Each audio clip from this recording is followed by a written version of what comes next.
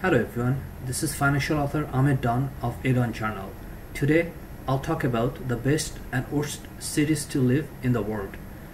The Economist Intelligence Unit just released its 2016 report called Global Livability Ranking. This report assesses the best and worst cities to live across the globe.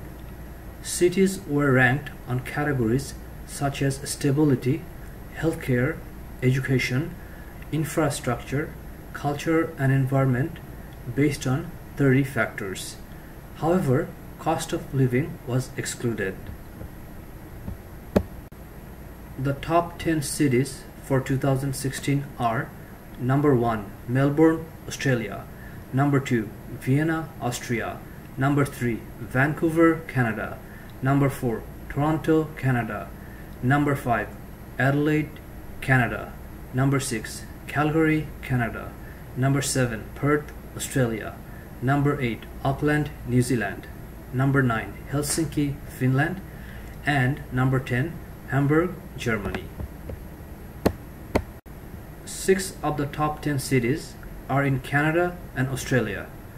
Most improved cities are Tehran in Iran, Dubai in United Arab Emirates, and Harare in Zimbabwe. Some of the biggest declined cities are Damascus in Syria and Kiev in the Ukraine.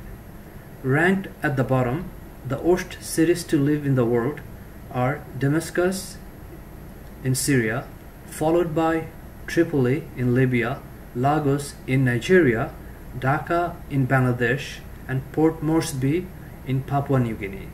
That's all for today. Thank you.